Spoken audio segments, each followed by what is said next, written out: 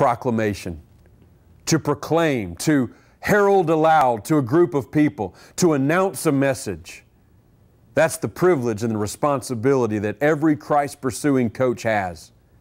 You see, this is the reality.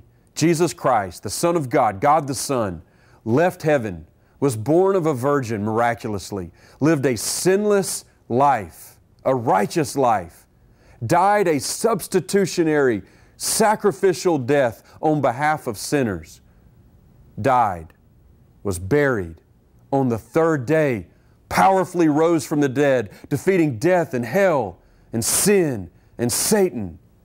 And in doing so, showed his victorious nature over all of those things, ascended into heaven, is right now at the right hand of God the Father, and will one day return. And every knee will bow and every tongue will confess that Jesus Christ is Lord to the glory of God the Father. That's the message of the gospel. That's the good news of salvation.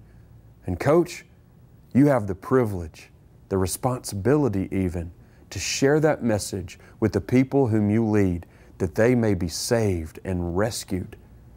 So I would encourage you, develop a plan in how you can herald this great news to the people you lead that they might hear it and be saved.